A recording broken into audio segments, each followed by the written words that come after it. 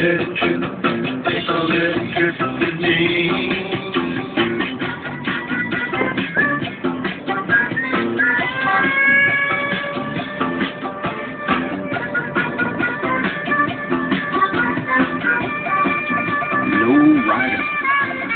friend Dusty Street is coming in next from Cleveland's Rock and Roll Hall of Fame. She likes to uh, fly low, fly low DJ.